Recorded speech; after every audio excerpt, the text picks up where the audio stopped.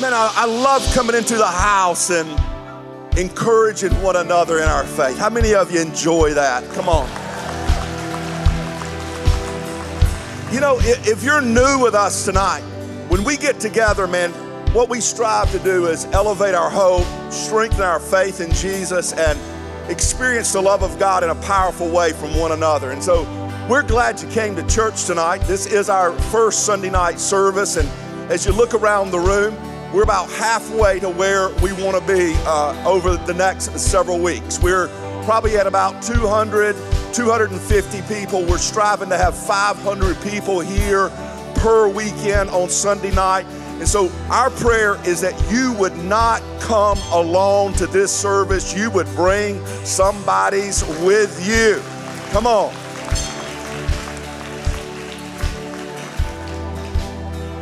Again, we're glad you're here. You know, I couldn't help but noticing, I'm not gonna let you sit down yet, but I couldn't help but notice whenever we were basically doing those worship songs that Eddie and David have on the same kind of tennis shoes, and so I thought I missed the memo and wearing black converses and white shoestrings. I got on solid white shoes tonight, so I don't know why I told you that, but it just kind of stood out like a sore thumb. They're starting to dress alike, starting to look alike.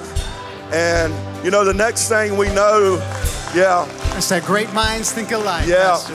The next thing is Eddie may get a new haircut like David's. And so, again, we're glad you're here to turn around, give somebody a high five, let them know you are glad to be at church tonight. Let them know that you're glad that they're at church tonight. Thank you so much, worship team. You are awesome. So, fantastic. and again, uh, you know, I just kind of wanted to top in before I get into uh, the word and the message today. I want to talk a little bit about why we're doing a Sunday night experience, why we're doing a, a Sunday night a service. We're you know, on our Sunday morning experience, a lot of people come out for those experiences. And Sunday night is always going to look a little different than the Sunday morning. You're going to experience uh, sometimes different singers, different songs.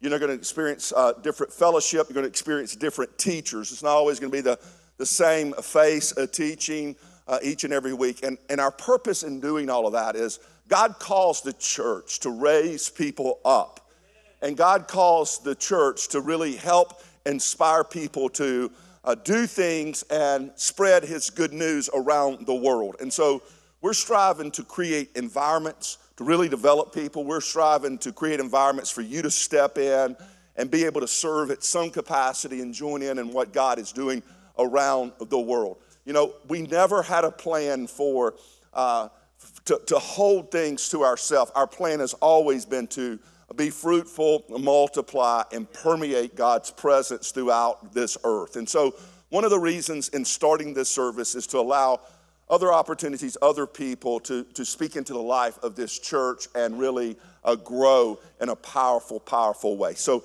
I want to encourage you to come. I want to encourage you to bring people. One of the hardest things to ever do in church planting, that means starting a church or starting a service, is to gain momentum is to gain momentum. And, and, numbers are momentum because numbers of people are powerful.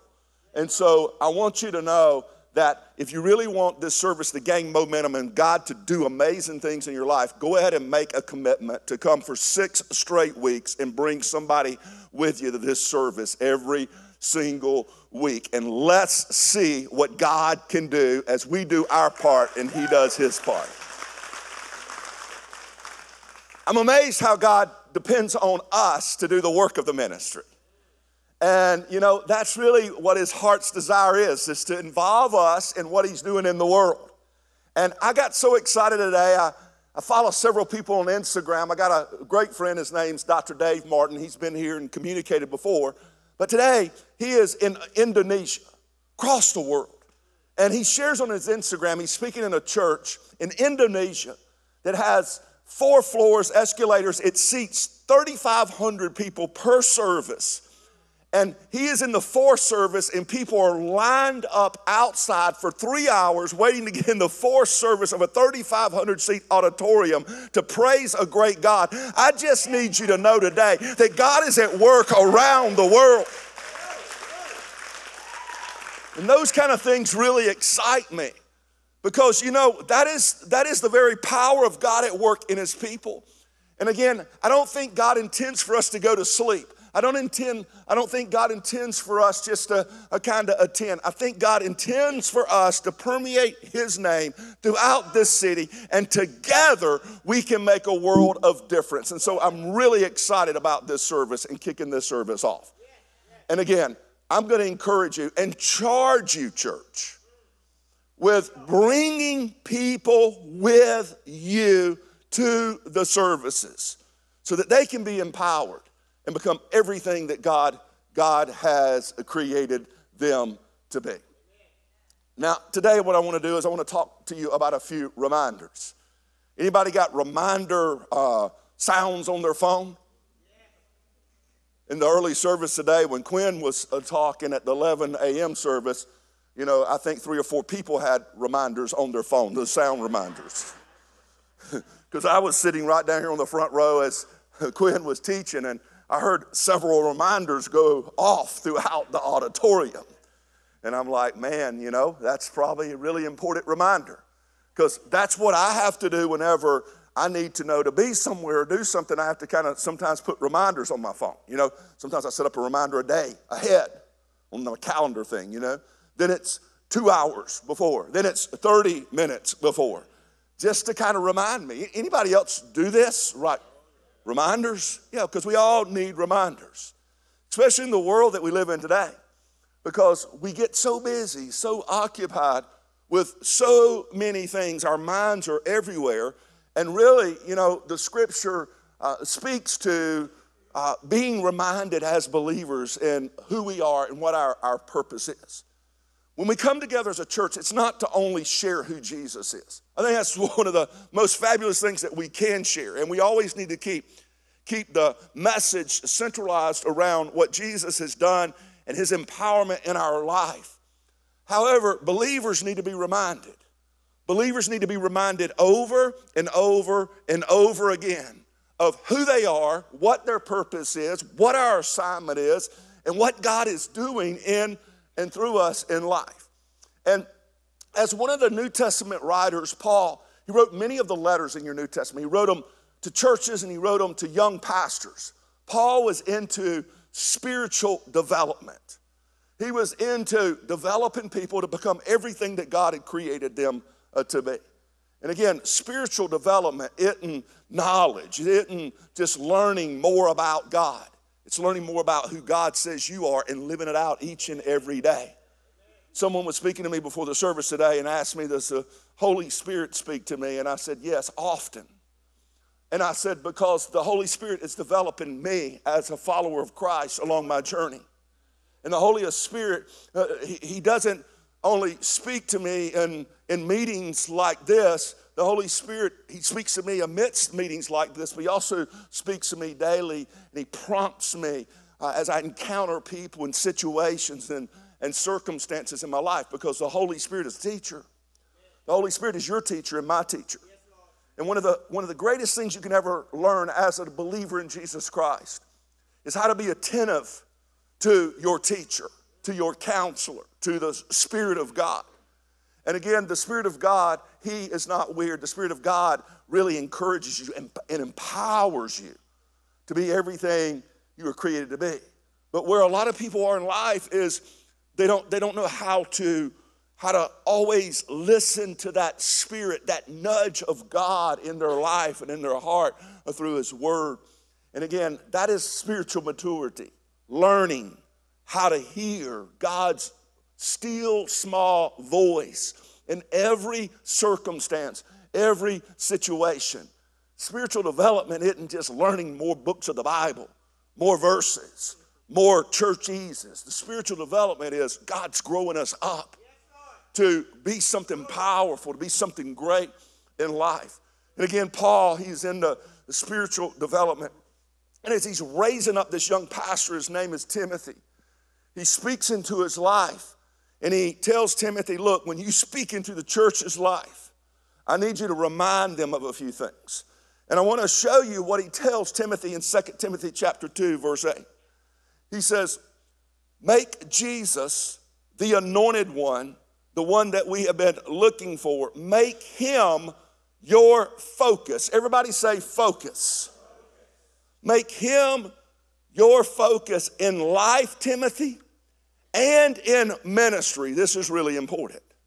In your life and in your ministry.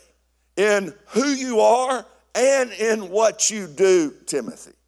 For he came to earth as a descendant of David and he rose from the dead according to the revelation of the good news, the gospel that God has given me. Paul says, Timothy, I need you to focus. To focus on Jesus, the anointed one. He is the one. Get your focus, get, get your mind on who He is, what He's done, His empowerment in your life, and everything that you do. Let that be your focus, who you are and what you do. Put Jesus in the center of everything you are. And He says, Now, here's what I need you to do, Timothy. As the leader and as the one that I'm developing, that's developing others. I need you, he says in 2 Timothy chapter 2, verse 14. He says, be committed to teach the believers. Be committed to teach the believers. Remind the believers. And again, this is a fascinating word because he's not telling Timothy to remind the unbeliever. He's talking about those who have believed in the finished work of Christ. And when you come to church, you need to be reminded of what to stay focused on and what to basically let go in your life. And so, Timothy, he says, be committed to teach the believers all of these things when you are with them in the presence of the Lord. Instruct them to never be drawn. I wrote in my notes here, don't go there. Instruct them to not go there. Everybody say, don't go there. So he says, be focused, stay focused, and don't go there. You want to win in life, believer? Stay focused on Jesus and don't go in certain places. And I'm not talking about places you go physically, I'm about places you go in your mind. And look what he says. He says, instruct them to never be drawn into meaningless arguments or tear each other down with useless words that only harm others. He says, Here's what I need you to teach the believers teach the believers to stay focused on Jesus and to not go there, to not go certain places in their mind, to not go certain places in their conversation, to not go certain places with their engagement with one another. In other words, we're a set apart people by the good news of Christ. Though we live in the world, we're not of the world, and we can learn by the power of the Spirit of God that lives in us not to go there. We are to empower each other. We are to lift each other up. We are to build one another up in Christ Jesus. And again, that doesn't mean pat you on the fanny all the time and tell you how awesome you are when you're not awesome. That means encourage you. Infuse courage in you to know who you are in Christ Jesus and to walk in the fullness of that each and every day. Don't go there. Empower one another, share with one another. Man, we have the gift of God living in us, believers. And he says, let's remind them, Timothy, remind them of who they are. They're not stoic people. They worship an all powerful, all knowing, everywhere at one time God. Let their praises be lifted up because He has rescued them, He has united them, He has helped them become everything that they are created to be. In church, as Quinn stood up here today and he shared the, the vision of going to 5,000, I know that's an astronomical number by the end of 2018 for Barefoot Church in Myrtle Beach. Huge. But honestly, that's what God has placed in our heart. And, and we got to run after it and we got to run hard after it. because there's so many people that need to be empowered. And as I look around the world, again, there's third world countries, there's places around the world and there's, there's huge cities, uh, places that are richer than we are around the world. And, and people are hungry, hungry for God, hungry for their neighbor to know God. Hunger, hunger for their, their, their co-workers to know who God is. And if God could instill in us the hunger for our friends and our relatives and those who live down the street from us to, to really run after God and empower them, not by just going and telling them about who God is, but letting God become the central focus of our life and our ministry and wherever we go. I wonder how many people would begin to ask us about the one who is alive inside of us, the answer, and we would be able to give the answer for the hope inside of us. Do we live a hope filled life? In other words, when people see you, do they see hope? Do they, do they see? Do they see God empowering you? Though, though you have some horrific circumstances. Have you ever thought about why those horrific things happen? So you can show off for God. So, so when the enemy comes against you, and when the enemy puts pressure in your life, God allows him to do it. Because whenever you are empowered by the God on high, let me remind you of who you are. The pressure can't hold you down. The death didn't hold him in the grave. He rose from the grave, and the same power that rose him from the grave lives in you. And whenever things come against you, stand strong, show hope in Christ Jesus.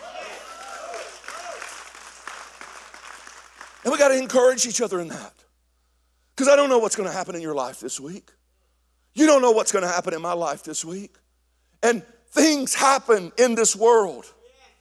But we are here to be encouraged, to motivate, to, to, to not always be downtrodden. I mean, if we really hope in a resurrection, if we really hope in a, in a life to come, eternity with a real God in a real heaven, if we really hope in that, then when death strikes, and separation happens.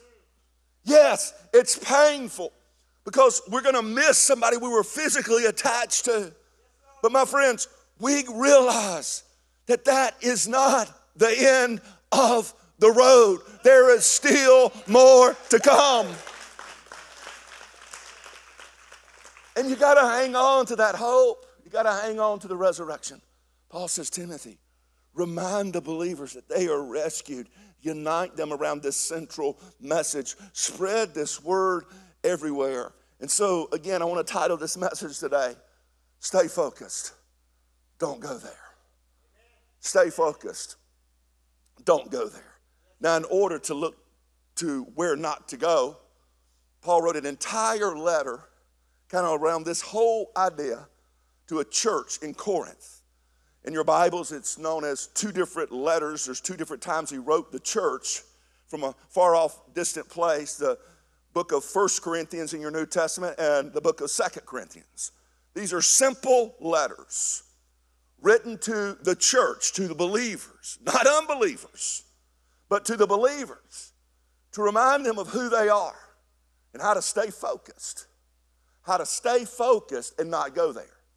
And the entire book of, of 1 Corinthians is all about basically staying focused on Christ and not going to certain places with your life. You should leave this place this week and start tomorrow morning and read the entire letter of the book of First Corinthians through the lens of I'm a believer, just like the people in Corinth was. And what does my central focus need to be? And where do I not need to go in my mind? I'm going to outline it for you today. However, again, I encourage you to go and read it because there's simple, there's simple practical things throughout the book of First Corinthians because Corinth was a wild and crazy place. I'm telling you, it was another level. And people were being called out into this message of a resurrected Jesus. They had the power of God living in them. But sometimes they would come and be a part of the church and they didn't live like the power of God lived in them. They would continue on with the lifestyle that they had before instead of letting the Spirit of God change them into something and permeate them into the great thing that God had created them to be. So Paul writes them this letter.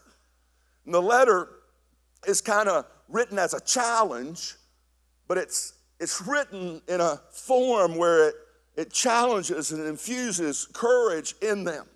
So he starts the letter off in 1 Corinthians chapter 1.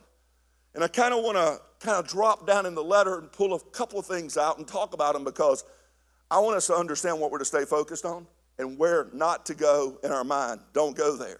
1 Corinthians chapter 1 verses 17 and 18.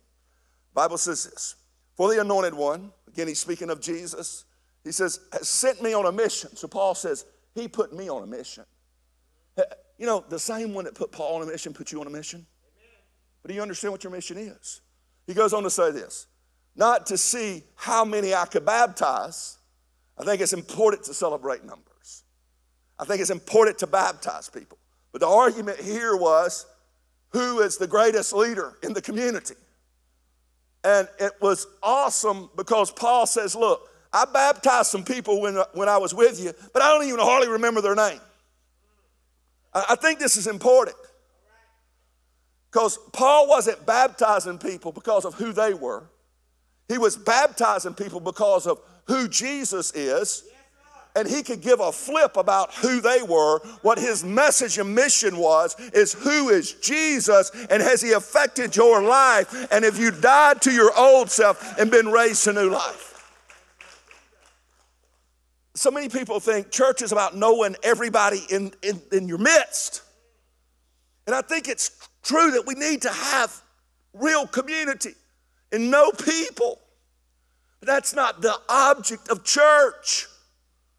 The object of church is not to know everybody, but to share Jesus with everybody we come in contact and let them know that He can resurrect their life too. And I find this fascinating because the moment, as Quinn said this morning, we begin to make it about us and not the mission of God, is the moment we miss so much about what God wants to do. And we are all important. We all need relationships and we need to work together and we need to be unified. However, Paul's like, look, he says, he says, I, I, I didn't do, I wasn't, I'm not on a mission to see how many people I can baptize, but to proclaim the good news. That's what I'm on mission for. He says, and to declare this message, he says, I declare that this message stripped all philosophical arguments that empty the cross of its true power. He says, For I trust in all, in all, in the all-sufficient cross of Christ alone. To preach the message of the cross seems like sheer nonsense, he says, to those who are on their way to destruction. But to us, that means to the believers, but to us who are on our way to salvation, it is the mighty power of God released within us. And this is a fascinating couple of verses in the Bible. Because most believers look at themselves as being saved once when they said a prayer. And yes, you are saved once by the blood of Jesus from all of your sin. He paid a high price on a cross for the sins of humanity. But you need to understand that salvation uh, and, and forgiveness of sin isn't just to remove you from what you were penalized for, but you are still being saved into everything that God has created you to be. Did you catch it when he said that part there at the end? This is what he said. But to us who are on our way to salvation, it is the mighty power of God released within, within us. He says, the cross makes no sense to people who don't have a, a, a, hunger and a thirst for what God has created them to be. But to those of us who are being saved by the power of the cross and being saved from something and being saved towards something, and we're on this amazing journey in life, he says, Man, you know, it is, it is the mighty power of God that, that is released within us. So we don't just see the cross and the blood of Jesus and the resurrection. It's a one time event to bring us out of something. You see, the cross, the blood of Jesus, and the resurrection as the event down through history that empowers us to be everything that God has designed us to be. It is the very power of God at work in us. And I find this fascinating because so many people come to meetings like this and they're like, Praise the Lord, God's forgiven me of all the bad things I've ever done, you know, in the resurrection. Yes, He has. That is true. But do you grab hold of the part that salvation isn't just to forgive you. That's awesome. But that's not why He does it. He does it to connect you, to connect you to your Father in heaven, to connect you to your Creator, to your great God. So you can get a download from God each and every day of your life as you're on your way to eternity and, and, and, and, things with Him forever and ever and ever. This is powerful. So we all need to learn how to walk with the Spirit of God, be empowered by the cross, keep the, keep the cross and the resurrection of Jesus the central focus of the message. But as we get on, as we continue to look there in 1 Corinthians, I want to show you, as people were coming against Paul and they were saying, look, you know, you're preaching all this fancy message and doing all this stuff. And he's like, no, no, no. He says, I want you to understand Christ is the central focus. I'm staying focused on him, and I'm not going to go there. Look what he says in 1 Corinthians chapter 1, verse 10. He says, I urge you, my brothers and sisters. He's not talking to unbelievers now, he's talking to the church. That, that will be many of us in this room today. He says, I urge you, my brothers and sisters, for the sake of the name of our Lord Jesus Christ, to agree to live in unity with one another. Basically, if you take that phrase there out of the Bible, it means that, that you may all be of one word, one testimony. That's what the word unity means here. That you be of one word, the cross and resurrection of Jesus. And you would have one testimony. We just sang a whole song about it that you would be a people unified around one idea, a diverse group of people, but the unity around this one idea is what brings you together and empowers you to change the world. It is the unity around Christ Jesus. God loves diversity. But the day our diversity trumps our purpose is the day we are missing the whole good news of the Bible. And I'm glad you got a tattoo. I love tattoos, by the way. I'm not knocking on tattoos. To show how diverse you are and to tell your story. But I invite you to tell his story and not just celebrate your diversity because of who you are, celebrate who you are in Christ Jesus. I'm proud of your outfit that sets you apart. But my friend, when your outfit becomes the focus of your life. And the Jesus who empowers you doesn't become the focus of your life. You're missing everything. And we live in this world, especially in this culture, where we become a bunch of individuals and we're not united around anything because we promote this. You know what? It's, you're your own person. We're an independent group of people. You know, we're, we're, we're a, you know, even in our, in our culture, and again, we're non denominational, we're an independent church. We're not independent, we're totally dependent.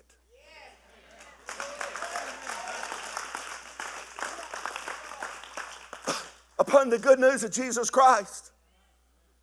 And here's the deal sometimes we celebrate how awesome we are and, and how different we are. Nothing wrong with being different. God loves diversity, He created it. But the day your diversity trumps God's purpose, it's the day you miss the whole purpose of life. And yes, God created me with a certain skin color, God created you with a certain skin color. But the day it becomes about skin color and not about Jesus is the day we miss the purpose of the church.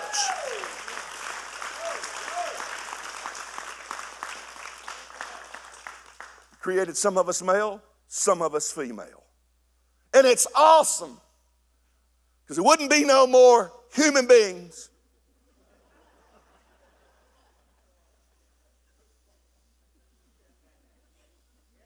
if we didn't have a seed and we didn't have an egg. However, you put them things together, I don't know. Well, I do know. They're making up all kinds of ways to put them together today. And what I want to tell you today is it's awesome. Be who God has created you to be but always be it in the context of making Jesus famous in this world. Because God created gender on purpose to magnify His great name. There's a compassionate side of God, there's a warrior side of God, and when we unify together and we begin to walk in the fullness of our purpose, my friends, the world begins to know who Jesus is. It's not about being a woman or a man, it's about being Jesus and walking together and sharing Him with the world.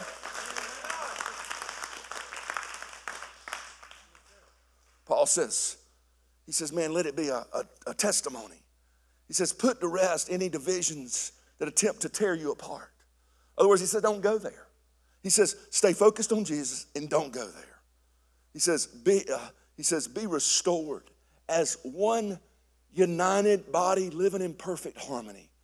Form a consistent choreography. I love how this puts this among yourselves.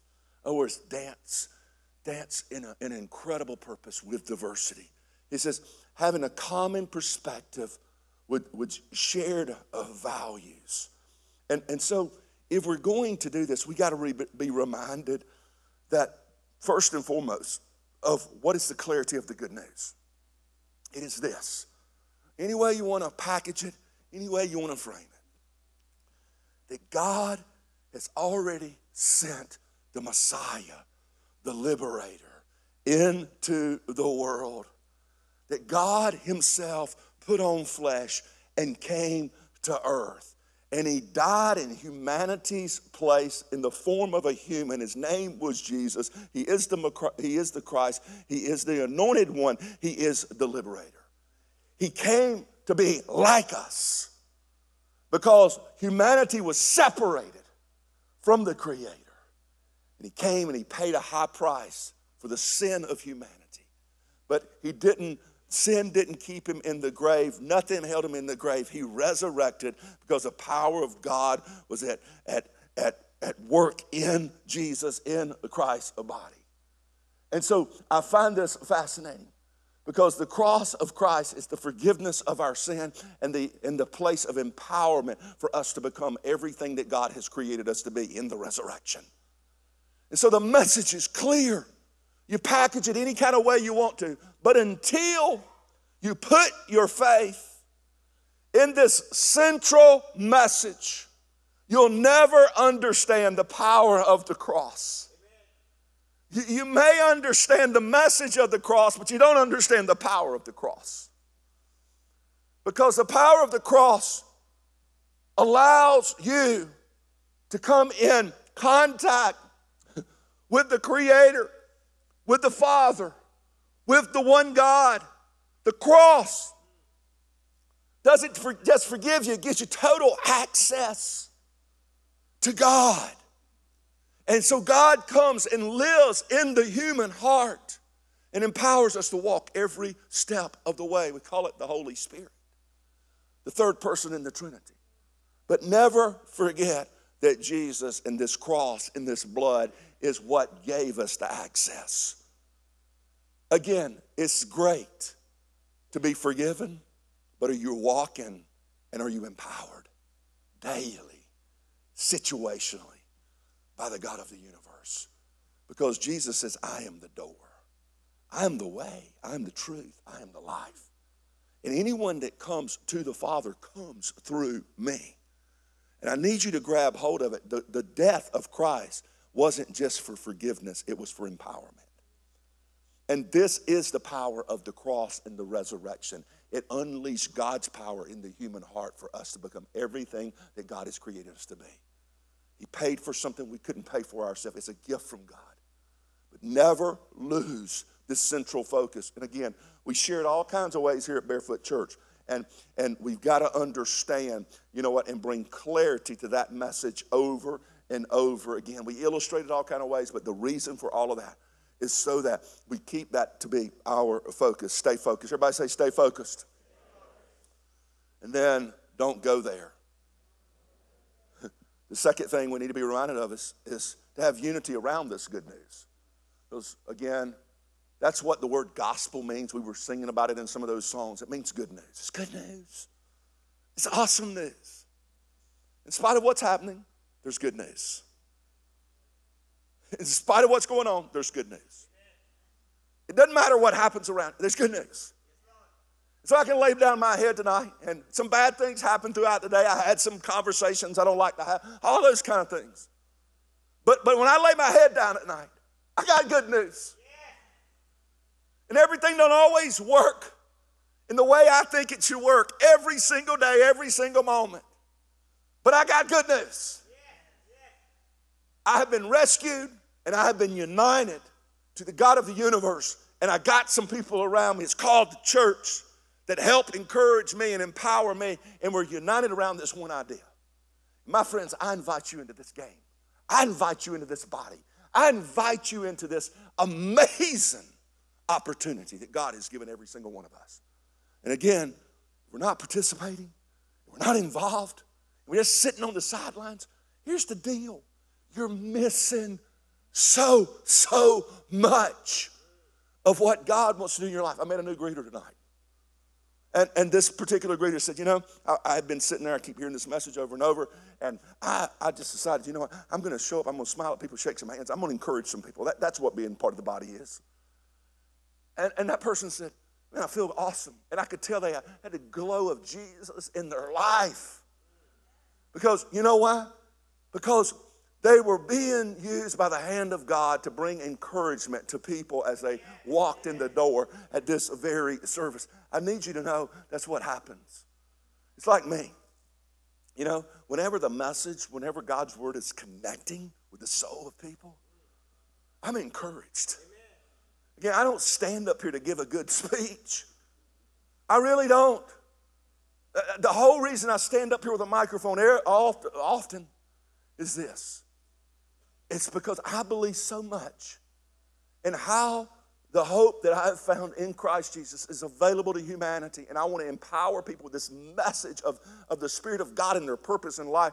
I stand up here and I say it and I spray it, wheel it, deal it every way I can feel it, every kind of way I can do it in order to help people become everything that God has created them to be. Why, why do I do it? Again, it's not to get a hand clap. It's because I'm encouraged. And when, when, when people, just notice about, about any preacher, okay? That if they're standing up here sharing the word of God and you're engaged, oh, they're like, heck yeah. That's encouraging because it means God's working in your life and in your heart. But if you sit there like a knot on a log, as my granddaddy used to say, and you're not engaged, I'm not talking about Oh, all you hooping and hollering and stuff. But if you're not in, if you're not full on and you're not engaged, then here's the deal: it, it sucks the life out of the room. And, and that's the truth of the matter. And, and so this is why I'm so much about the church being engaged. Again, you got to be engaged. You got to be engaged because if you're not engaged, here's the deal: you cannot become everything that God has created you to be. Mark my word, I said not in that. If you're not engaged, you cannot. Because this life we live is a life of faith. What faith means is, you know what? I'm going to engage with God's purpose even though I haven't seen it happen yet. I got hope in it and I engage with it and I walk along this journey every step of the way. Faith is engagement. And so we got to unify. And I want to hit these points real quick like and again, I'm going to let you go home and study them.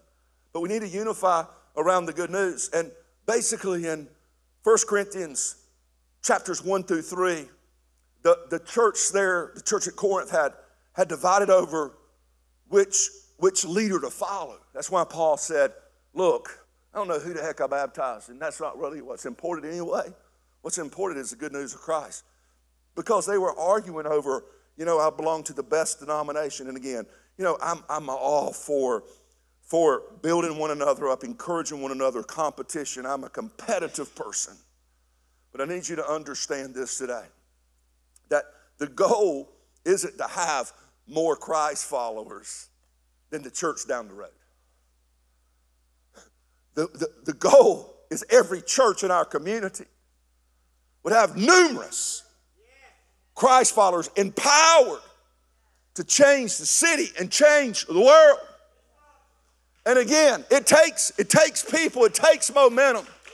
And honestly, the prayer in my heart is every church would have momentum and they would have somebody at the helm of the church that has the audacity to stand in front of people and say, if you ain't growing, we ain't going. If we ain't doing it, then it ain't gonna happen because God wants us to do something. He wants us to give, He wants us to serve, He wants us to share, He wants to empower us. So you, you, you got to have a pin in the cushion. You got to be a spur in every, saddle, in every saddle. Has to be. You know? And again, uh, there, there has to be a butthole in everybody. That's the more blunt way to put it.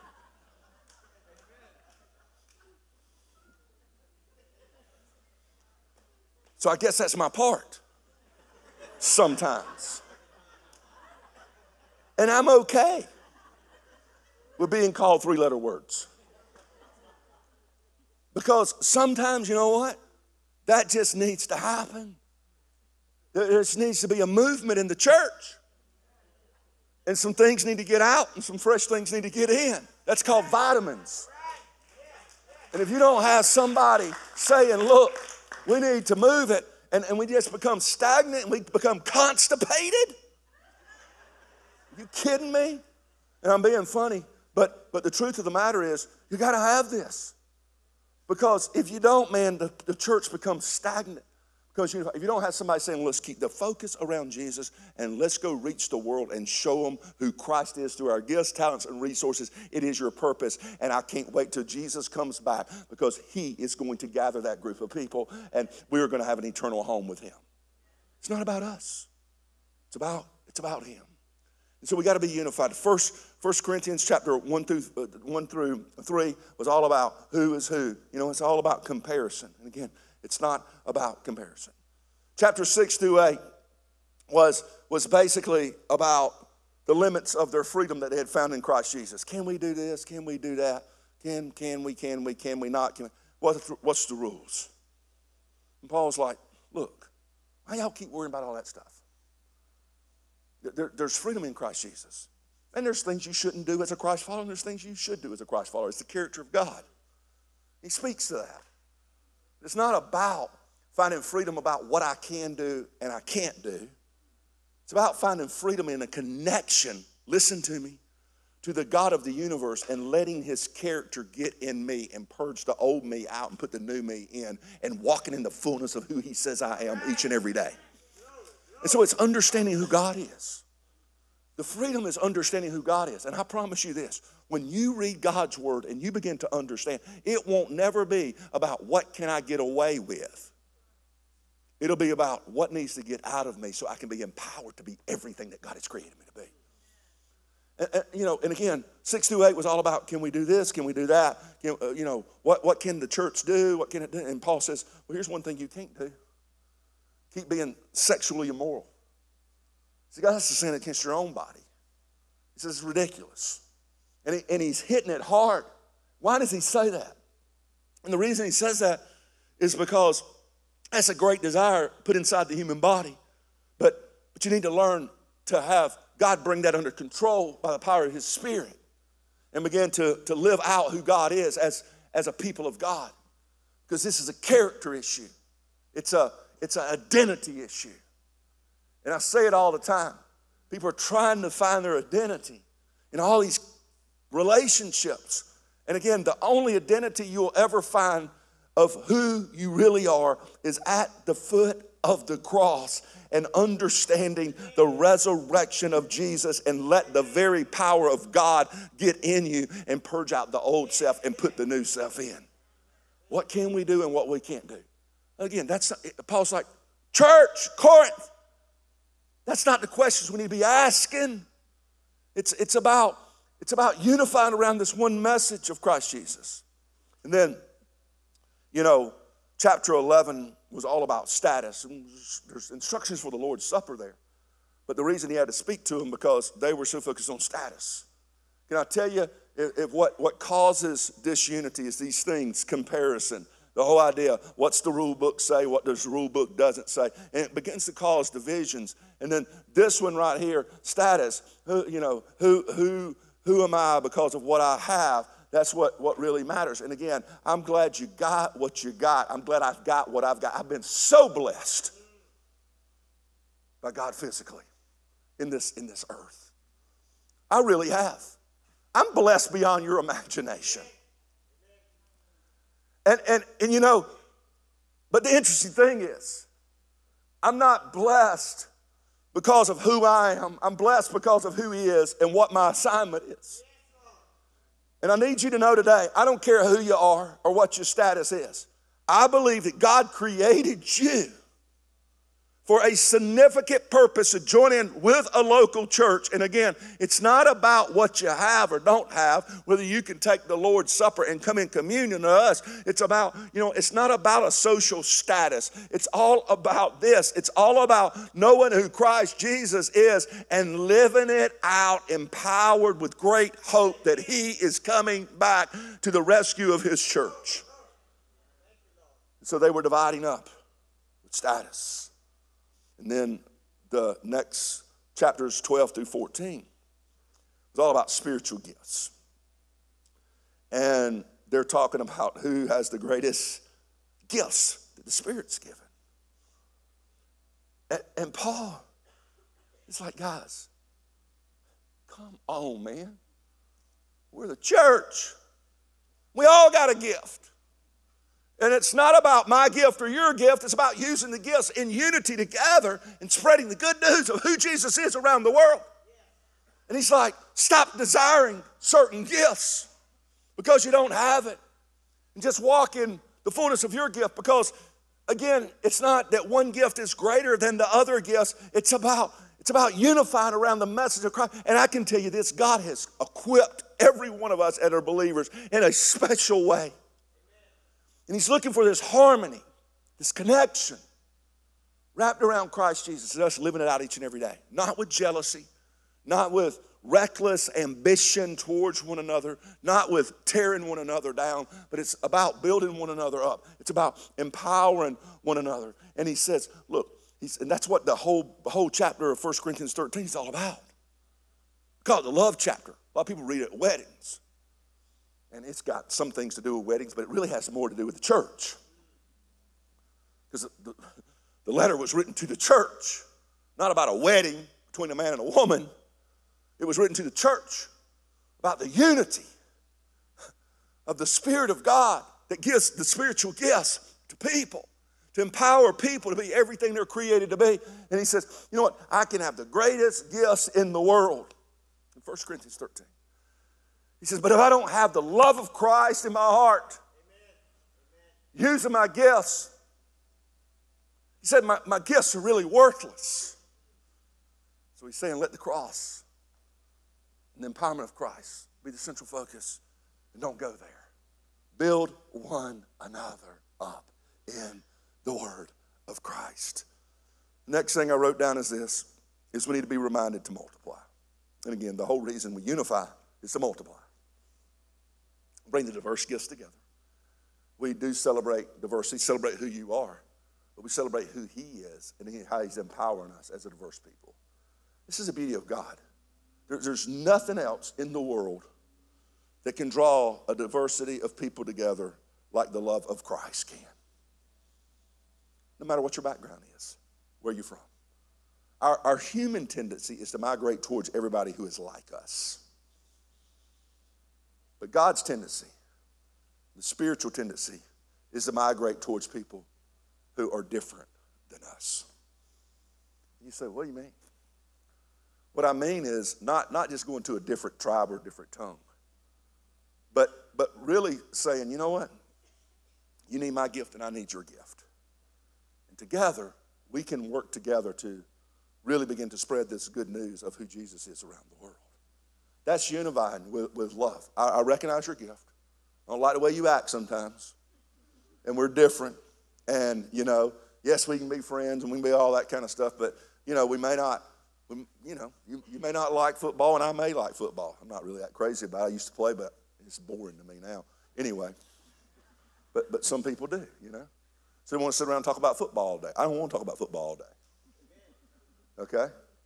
What I want to talk about is how to grow the church. And my wife will tell you this that if, if you want to engage in conversation with me, I, will talk about how awesome your hair is and, you know, Aunt Betty's toenail and all that kind of stuff for a little while. But I'm more interested in you and who you can become in Christ Jesus. And I'm more interested in connecting you to the church. And I understand the compassion that I gotta, I gotta love you where you are. But I am, I, I, I, everything inside of me, the spirit that God has put inside of me, wants to grab you by the nape of your collar and snatch you into the kingdom of God and say, Look, listen, big boy. Come on, girl. You can do it. It's awesome. God's amazing. Don't pout. Let's go.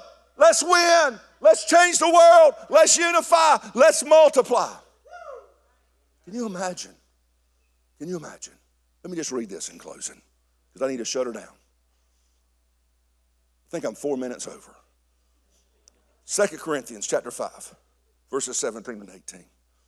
Now, if anyone is enfolded into Christ, he has become an entirely new creation.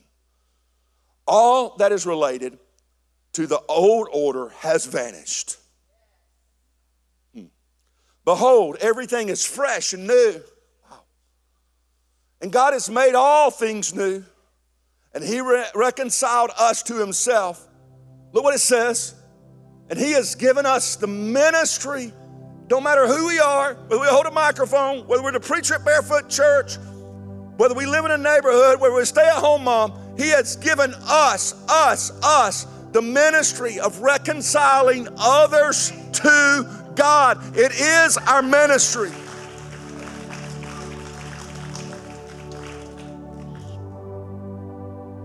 So I celebrate diversity. And I say this because everybody in here has a role. Understand what your role is.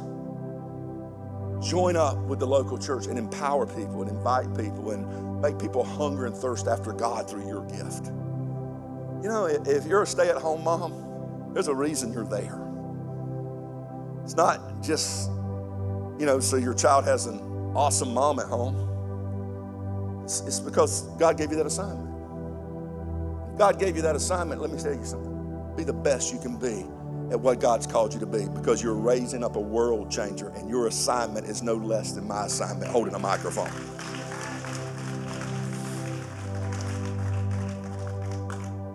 God's called you to run a business.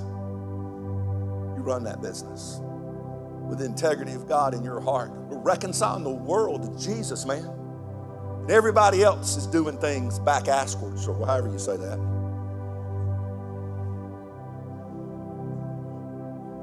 Wrong, focused on themselves, no integrity. You keep being integrity. You keep doing the right thing. You keep doing the God thing.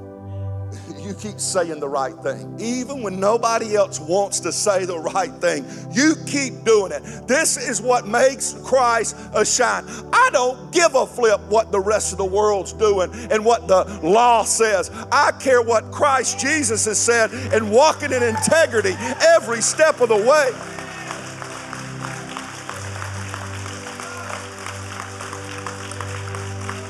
Be who God has created you to be. Unify. Stand to your feet. Let's let's pray and then we're going to worship one more time tonight. God, I thank you so much for this empowering message. God, I thank you so much for the unity of your spirit. And God, I pray we would be focused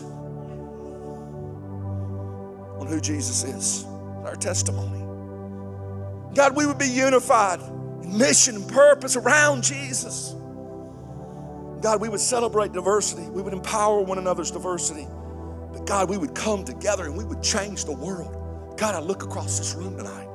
This is a powerful force here. Every man, woman, boy, and girl is here tonight for a reason. And it's to begin to help others know who Christ Jesus is. And it's to fill this place up overflowing with 10, 20, 30 services and, and doing more campuses. God, it's about really sharing who Jesus is. And God, I thank you for the pizza. But most of all, I thank you for Jesus and the one who brought us together today. And my friend, if you don't know that Jesus, just right where you stand today, say, God, today I need your empowering grace. Tell God, thank you for the blood of Christ right where you stand today. Tell God, thank you for the resurrection. Tell God, you put your hope in a perfect Jesus who died in your place and resurrected from a grave. And today, you're going to put your faith in that Jesus. I don't care how you say it, just tell God, thank you in your heart today. And my friend, if you said that prayer, I want to say, welcome to the family. You're not an outcast. You're a brother, you're a sister, you're a child of the living God, and you have purpose. And we're gonna sing again, and we're gonna sing hallelujah. So I want you to lift your voices today and expect God to do the amazing. Come on, church.